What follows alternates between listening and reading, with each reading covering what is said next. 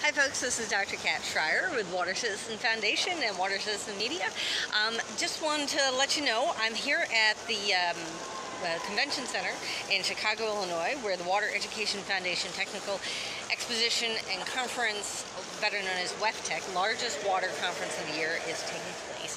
20,000 water professionals running around this place.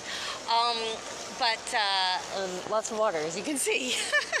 but um, but I'm actually here because one of the biggest issues that uh, face water professionals is how to connect with a broader audience. Obviously, you've got tremendous expertise and tremendous passion and enthusiasm from water professionals.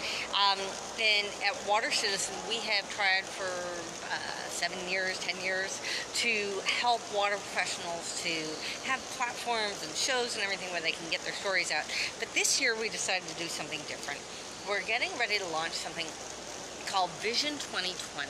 We're really going to help water professionals, uh, water experts, uh, even you know local experts, um, to figure out how to connect with a broader audience on their issues. And one of the best ways to do that is through what's called a TED Talk or a TEDx Talk. Now, we're not affiliated with TED or TEDx, um, but we have worked with uh, one of the best TEDx coaches for speakers.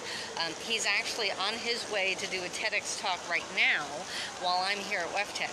Um, but we want to let you guys know we are putting together a little guide that if you click below and put in your name and email, we can send you that guide of, of some of the best tips for how to prepare for your own TEDx talk. I know there's a lot of folks who've been interested in doing that